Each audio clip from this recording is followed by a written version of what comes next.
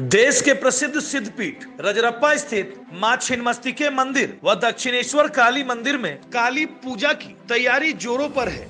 पूरे मंदिर प्रक्षेत्र में रंग रोगन व सफ़ाई का कार्य चल रहा है। रजरप्पा सिद्ध पीठ में कन कन में माँ भगवती का वास है। यही कारण है कि देश भर से तंत्र मंत्र सिद्धि के लिए लोग काल रात्रि में रजरप्पा पहुँचते हैं। यहाँ कई अलौकिक शक्तियाँ अदृश्य रूप से विचरण करते नज़र आ जाती है। इसी कारण रजरप्पा में माँ काली पूजा पर भक्तों की बड़ी तादाद में भीड़ उमड़ती है। इसको लेकर दक्षिणेश्वर काली मंदिर में तैयारी जोरों पर की जा रही है। प्रत्येक वर्ष की भांति इस वर्ष भी चौदह नवंबर को माँ दक्षिणा काली की आराधना की जाएगी। जिसके लिए यथोचित तैयारियाँ हो चुकी हैं और जो साधक जब आने वाले होते हैं, निशा काल में, जो साधना करने वाले होते हैं, प्रायः लोगों का यहाँ आना प्रारंभ हो चुका है। साथ ही माँ का पूजा, अर्चना, माँ आद्या भगवती माँ काली ही सर्वोपरि है। इन्हीं का दस रूपों का उस रात्रि में दस तरह से साधना की जाएगी।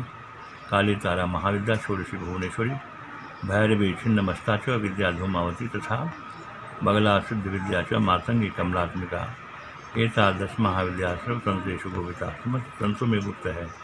जिसमें आद्या भगवती माँ दक्षिणा काली हुई। इन्हीं के दस रूपों को दस महाविद्या कही जाती है, जिनकी आराधना चौदह तारीख के मध्य रात्रि को की जाएगी, जो काली पूजा के नाम से विख्यात है। वहीं माँ छिन्नमस्तिके मंदिर में भी काली पूजा की खास तैयारी की जा रही है। मगर कोविड 19 के नियमों को देखते हुए इस वर्ष कम मात्रा में ही फूलों से माँ भगवती का दरबार सजेगा। वहीं सरकार के नियमों के चलते लाइट भी नहीं लगेगी। इस साल 2020 में 14 नवंबर को महाकाली पूजा, माँ छिन्नपुस्ता मंदिर परिसर में संपन्न होने वाला है। लॉकडाउन के चलते जो भी भारत सरकार का कोविड का जो नियम है, उसका पालन करते हुए हम लोग काली पूजा का तैयारी कर रहे हैं। प्रत्येक वर्ष के भांति इस वर्ष भी रंग पेंट हो रहा है।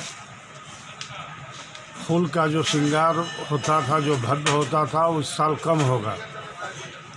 लाइट, जो लाइटिंग जो होता था, वो भी नहीं होगा।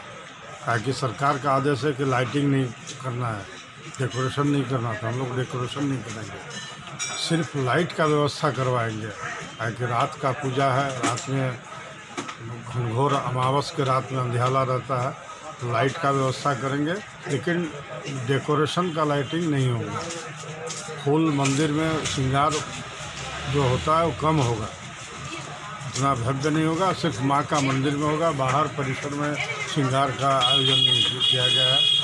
और जो पूजन का जो विधान है जो प्रत्येक वर्ष होता है वो इस वर्ष भी होगा। रजरप्पा से इमरान की रिपोर्ट। रामगढ़ ज़िले का एकमात्र इंजीनियरिंग कॉलेज जो कि झारखंड सरकार द्वारा निर्मित Techno India group one of the leading biggest education के द्वारा संचालित एआईसीटीई के मान्यता प्राप्त एवं झारखंड टेक्निकल यूनिवर्सिटी के अंतर्गत आता है।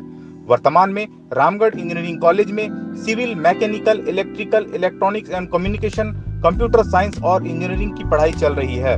रामगढ़ इंजीनियरिंग कॉलेज के प्रत्येक शाखाओं में स्टूडेंट एडमिशन सीट की संख्या 60 है। इसके अलावा इस कॉलेज में लेटरल एंट्री, जो कि संबंधित ब्रांच, डिप्लोमा करने के बाद एडमिशन से होता है। इसकी भी यह सुविधा है। वर्तमान समय में डिप्लोमा करने के आधार पर 25 सीटें उपलब्ध हैं। इच्छुक छात्र और छात्राएँ जल्द से जल्द नामांकन कराएँ।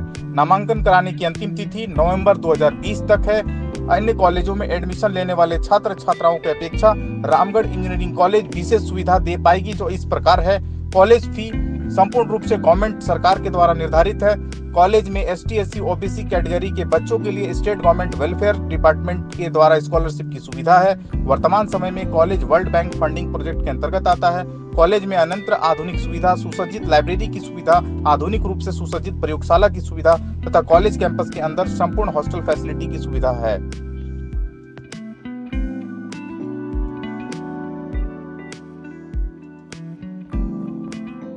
न्यूजीलैंड चैनल को यूट्यूब में सब्सक्राइब करें और खबरें सबसे पहले देखने के लिए बेल बटन ज़रूर दबाएँ। न्यूजीलैंड में खबर की सूचना देने के लिए संपर्क करें और वीडियो व्हाट्सएप करें। हमारा संपर्क नंबर है